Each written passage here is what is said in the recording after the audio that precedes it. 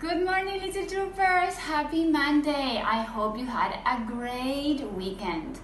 So, today we're going to have a very fun science experiment. That is why we have a lot of things here. Do you remember last week we learned about pollution? Who remembers what pollution is? Yes, pollution is everything that makes our earth very, very sick and dirty. So today we're going to learn about oil spills. Oil spills are very, very bad for all the animals that live in the oceans and also for us because they are very difficult to clean.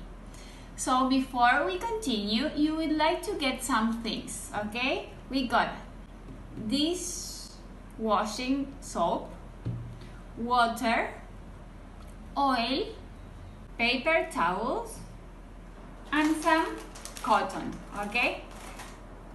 Once you get, and we need also, sorry, two containers and one spoon. So first, we are going to fill up these two containers with water. Is this water clean or is it dirty? What do you think? See? It's very, very clean water. You need to imagine that in that this is the ocean, okay? And inside here there are many, many fishes, sharks, whales, birds, penguins sometimes, okay? I don't have any ocean animals, but if you have some plastic toys, you can put it inside to see what happens. Once you fill up the containers, you need to take a spoon or if you have a medicine dropper and we're going to put the oil inside the water to see what happens. Are you ready? What do you think?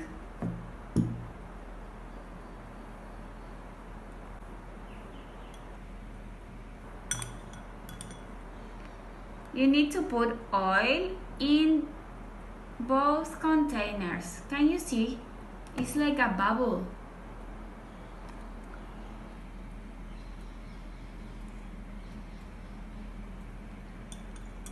Now, if this were the, the ocean, all the animals will get stuck in this oil like this one, okay? So if this happens, if a boat spill out oil, some scientists and some people need to go and clean it up. So we're going to try to do that job. So how do you think we can clean it up? First, in this container, we're going to try to clean it up with a paper towel. Do you know why? Because this can absorb, this that can, like this can suck the oil out. But you think it's going to be effective? Do you think it's going to work? Let's see. See? The oil bubble is there. So you're going to take the paper towel and you're going to try to take all the oil out of the water. Is it working? Look, the oil is still there. Let's see how many times we need to do this to try to clean it up. See? As much as I move the paper towel inside, see? The oil it's spreading everywhere. So it's going to be more difficult to clean. Is it working? Mm, not very much. Now, I'm going to try to clean it here. I don't know if you can see the oil there. So we're going to take one cotton and we're going to try to clean all the oil in the water. Is it working better? What do you think? Let's see how many cotton buds we need. And this is also a problem because we're using a lot of cotton trying to clean up. So we're making also garbage at the same, same time. That is not very good for the planet. Look, which one worked better? Did the paper towel work better or the cotton? Okay. See, this one, we really clean up, but I can still see some spot of oil, so it's not totally clean. And now I'm going to try to clean this bowl using a spoon. Do you think we can use to try to clean the water?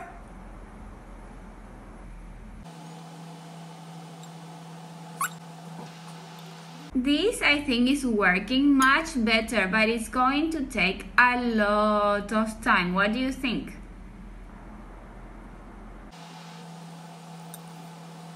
Okay, and now finally, we're going to try with the soap. I'm going to put the soap into the water. Do you think it's going to work?